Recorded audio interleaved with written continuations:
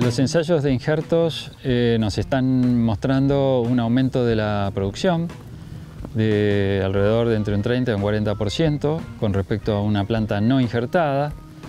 Eh, además, este, bueno, tiene muy buena eh, desarrollo de raíz que trae aparejado a menor problemas de muertes de plantas por problemas de hongos. Y no, hemos visto de que atrase el cultivo, eh, no más allá de cuatro o cinco días con respecto a la planta no injertada. Eh, la, parte aérea del injerto continúa con la misma características de la variedad que, fue injertada.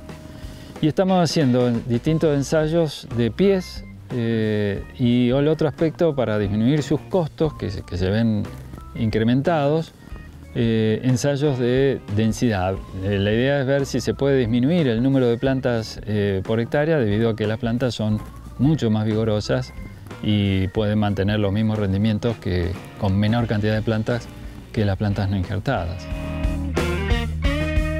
Nosotros estamos observando que en otros lugares del mundo se está experimentando esta tecnología eh, en California hemos visto eh, que ya se ha llegado a un número importante de, plantas injertadas eh, y donde se está evaluando también.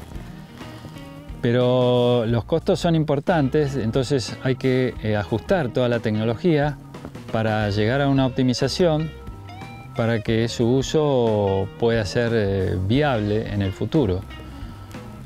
así que Estamos en una etapa de, experimentación.